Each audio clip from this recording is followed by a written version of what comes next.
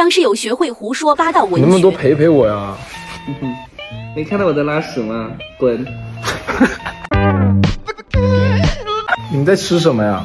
没吃，我在给猪洗脚，用用嘴给它洗。你嘴干嘛呢？做豆浆呢？好用吗？好用。能给我两组组吗？不行，你做出来的不好喝。他今天头好晕呢。没事儿，你离我远一点就不晕了。